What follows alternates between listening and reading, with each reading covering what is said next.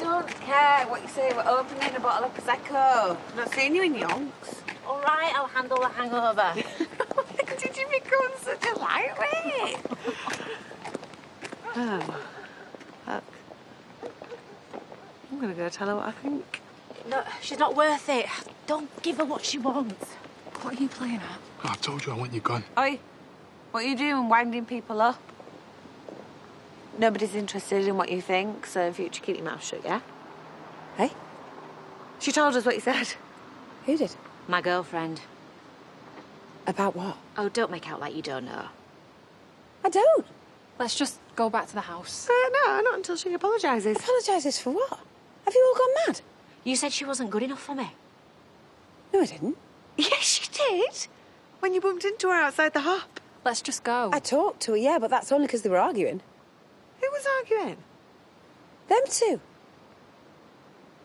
What were you arguing about? Football. Apparently. I can explain. Shut up. Uh, what's going on? Nothing. Yeah, there is. Don't lie to me. Come on, tell me. Am I Mrs. Mania? We've slept together.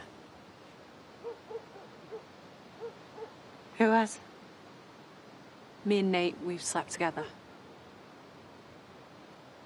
It was only once. When? It was when we were on a break. How could you? I said when. It meant nothing. Tell me. When? When did you sleep with Nate? The night I didn't come home. Don't bother coming back to the house. Come on, Trace.